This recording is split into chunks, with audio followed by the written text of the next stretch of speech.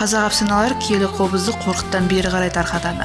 Заманы ағысы табиғаттың тамыр бүлкілі талқа түскен тағдырлар туған жерін қимай қаңқылдап ұшып бара жатқан қаздар тұяғын айға білеген тұлпарлар. Бабалар рухының жаңғырығы. Бәрі бәрі де қара қобыздың күңіренген шалқыған үніне сыйып кетеді. Көз алдыңызда қаншалық мұңлы болса да соншалық көркем көріністер елес береді. Бұл қобыз құдіреті. Киелі түркістанның тума перзенті ақеркенің осы бір қобыздың нөміріне серік етуі де кездейсоқтық болмаса керек. Бұл өнермен қоса әншілік қабілетте бар ақерке өнердің табалдырығын анашым деген әнімен бастады. Осы әнмен мектеп жасында бірнеше конкурстарға қатысып жүлделі оралып өзінің талант иесі екендігін дәлелдейді. Өнеріне тәнті болған түркістандық аға әпкелері кішкентай талант иесінің ата анасына алматыға оқуға жіберу керек деген кеңес айтады.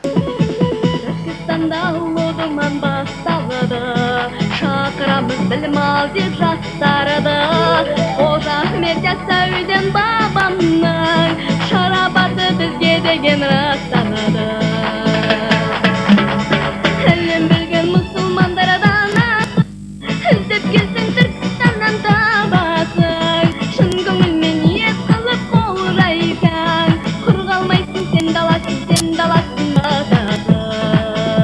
оңтүстік астанадағы жұбанов атындағы музыка мектебіне оқуға түсіп қобызды таңдайды. Дарынды балаларға арналған арнайы мамандандырылған музыка мектебін үздік аттестатпен бітірген соң 2005 жылы құрманғазы атындағы қазақ ұлттық консерваториясының халық аспаптар факультетіне қобыз мамандығы бойынша оқуға қабылданған ақерке алғашында әбдіманап жұмабекұлынан дәріс алса одан кейін құрманғазы консерваториясының профессоры базархан қосбасаров сынды танымал өнер шеберінен қобыздың қыр сырын меңгерді. Алғаш рет әнші балапан утренняя звезда байқауларына қатысып бас жүлдені жеңіп алып алматыға жолдама алған кішкентай өнер иесі ата анасынан алшақ кетіп ахмет жұбанов атындағы арнайы музыка мектебінде оқи жүріп республикалық халықаралық байқауларға қатысып жүлделі орындарға ие болады. Сонымен қатар кішкентайынан хабар арнасынан шыққан ақерке бағдарламасының жүргізушісі ретінде де республикаға танымал болды. Сәлем достар. Ертіс жерінде айналайын фестивалі өтті. Бұл үлкен мерекеге 14 облыстан жеті мемлекеттен дарынды балалар қатысты. Қазір мен сендерді осы мерекені тамашалауға шақырамын. Бұл уақытқа дейін халықаралық азия дауысы фестивалінің үшінші орын жүлдегері республикалық балақай радиофестивалінің көркем сөзді мәнерлеп оқу және аспапта ойнау жанрлары бойынша бірінші орын иегері атанған ол түркістан алматы қалаларында шығармашылық концертін өткізіп те үлгерді. Thank.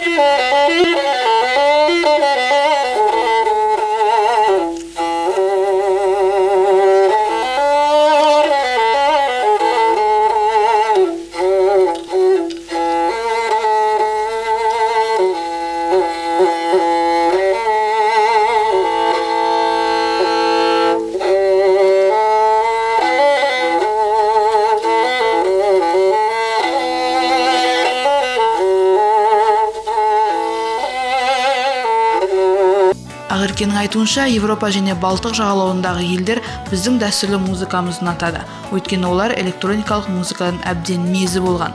Ол болған литва германия түркия корея молдова қытай ресей иордан хашимиттік корольдігі тәжікстан халқының біздің елімізге мәдениетімізге деген құрмет пен қошеметтеріне дән риза.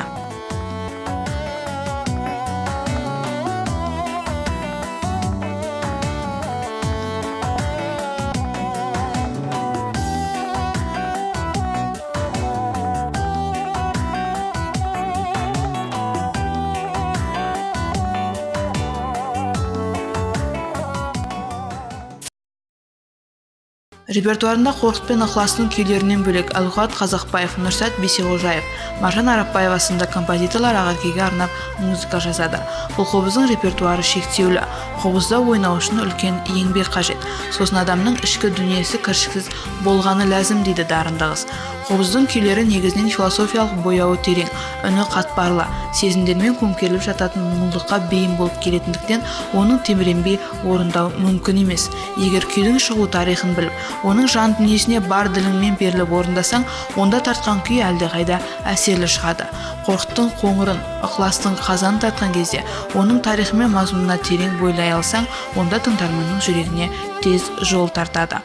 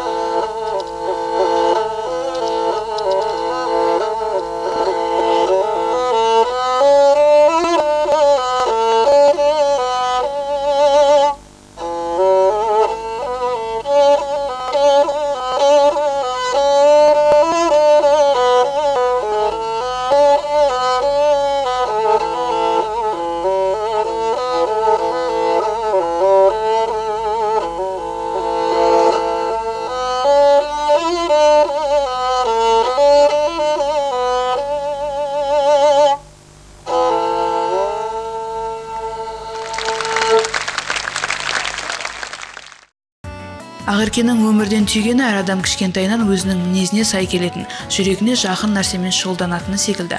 Қарапайым қара қобызбен де өзінің мінезінің арасында бір ұқсастық дәлірек айтқанда бір үйлесімділік бар.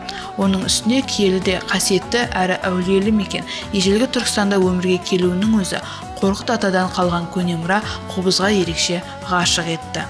Жалпы қазақ мәдениетін қазақ өнерін қазақ дәстүрін басқа елдерге тек өзіміздің тұрғындарымыз азаматтарға емес басқа елдерге паш ету қазіргі мақсатым жас өнерпаз көптеген әншілердің әндерін қобызбен сүйемелдеген.